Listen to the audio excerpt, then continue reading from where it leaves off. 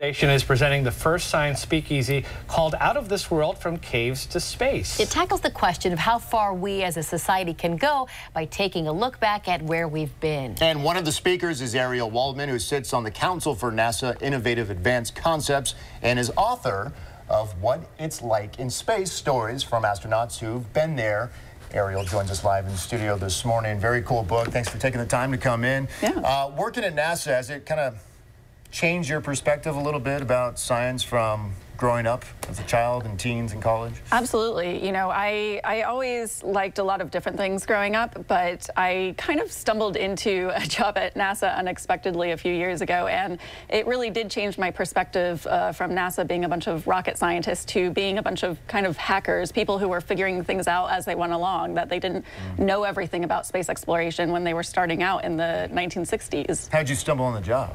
I was watching a documentary, uh, and I found it so inspiring that I decided to send someone at NASA uh, that I had never met an email saying that I was a huge fan of what they were doing and if they ever needed someone like me, someone who went to art school, uh, that I was here. And I didn't expect I'd hear That's back awesome. from them. But yeah, I got a job from that. I didn't know that. It can be very intimidating for those of us who don't have a deep science background to even think about. I mean, look, you know, the Chabot Space and Science Center here in Oakland, that's about my speed. Most of that is geared toward children. If I go beyond that, I'm intimidated, I shut down. How do you encourage children, but maybe more so adults, to open up a little bit?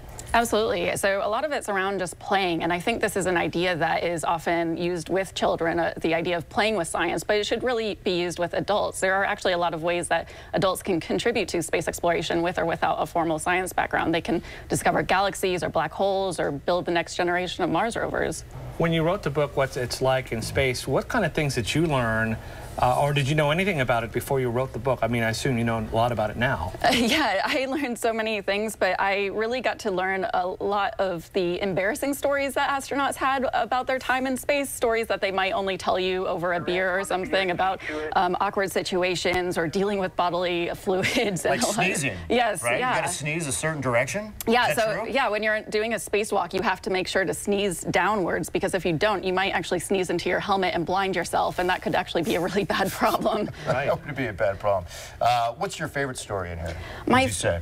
I have a lot of favorite stories in the book, but I think one that I really enjoyed was about uh, astronauts who were aboard the space shuttle, the early astronauts aboard the space shuttle, and how they were having mysterious headaches. And they were having these headaches, and NASA didn't know, you know, what was causing them, if it, it was intracranial pressure or other weird exotic things in space. But they ended up discovering that they were sending astronauts into space with freeze-dried coffee. And so what they were actually experiencing was caffeine withdrawal headaches. Wow. Oh, oh how Which I get quite often. Right, right. Quick caffeine. Do you think that space should be accessible to all, or eventually it will? That we all have a chance at a shot to go outside of Earth? I think so, and I think that's what we're slowly but surely realizing is that by having diverse perspectives and experiences in outer space, we can really get a, a, broader view of what it's like for humanity to really go into space and not have it be owned only by one country or one government or one company.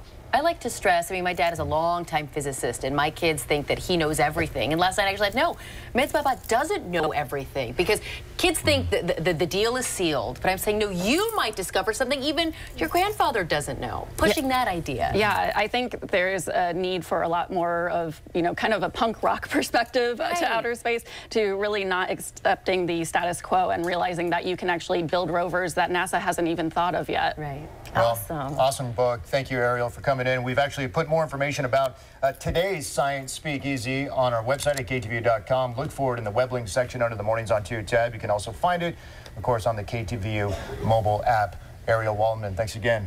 Thank you so much. Congratulations on finding NASA. What a story. Just stumbled into NASA. I can't even imagine. that. that is not a job story. you stumble yeah. into. Wrote an email. One day you're working at NASA. Thank goodness for that. Did you